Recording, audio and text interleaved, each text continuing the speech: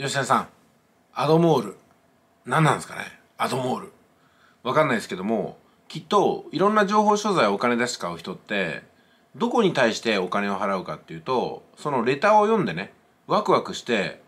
そしてもしかしたらこの情報で自分は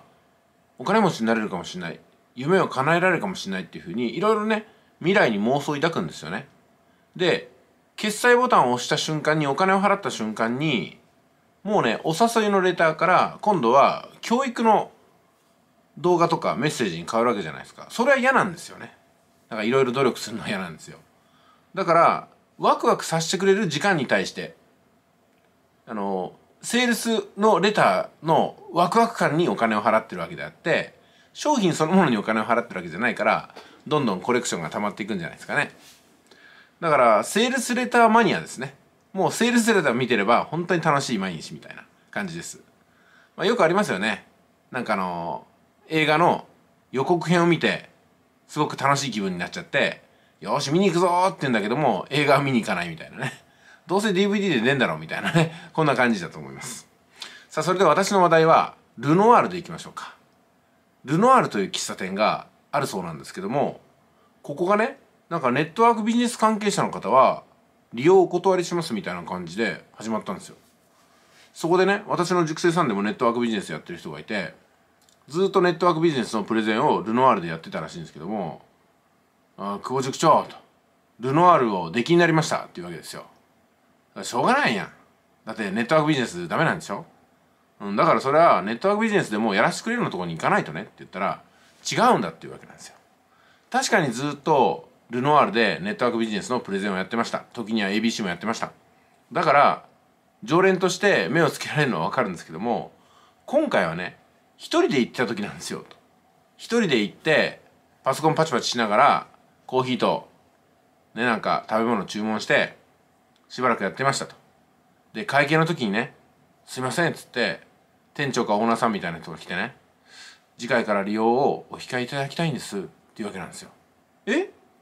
でも別にネットワークとかなんとかじゃなくて一人で来てるんですよっつったら。うん。でもなんかずっとね誰かが来そうでちょっと気が来てないんですよ、うん、でとにかくネットワークビジネスやってる方でしょ、うん、これからもやるかもしれないしそもそもパソコンでネットワークビジネスを勧誘してるかもしれないじゃないですか。だからちょっとすいません。うちはそういうとこじゃないんですいません。みたいな感じで出禁になったそうです、うん、まあこれねちょっと誇張した話かもしれませんしその人からの一方的な話なんでこれを丸々と信じるわけにいかないんですけどもでもルノワールって言ってましたよね確か。違ったかな？ちょっと店名もあやふやなんで今更ですけどもルノワールじゃなくてある喫茶店にしといてください。ルノワールじゃないかもしれませんのでね。そこら辺はルノワールさんに迷惑がかかんないように某喫茶店ということにしておきます。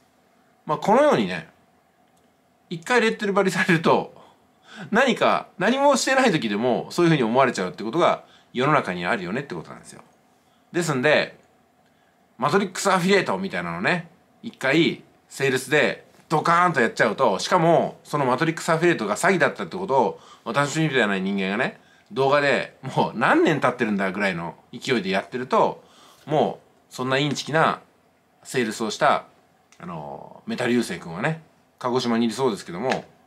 ずっとこの商売の世界に出てこれないじゃないですか。だからやっぱり正直にやるのがいいですね。うん。まあそういうことが言いたかっただけなんですけどね。結局このねマトリックスに話を持ってくるところいかがですか？もう散々パラマトリックスアフィリエイト。マトリックスアフィリエイトみたいな感じですよね。マトリックス。マトリックスアフィリエイト。ちなみにマトリックス新作が始まるそうですけどもいつからですかね？私としては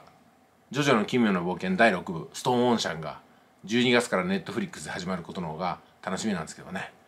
はい、今回の動画はいろいろ詰め込んでみました。いかがでしょうか？マトリックスアフィリエイトいってらっしゃい。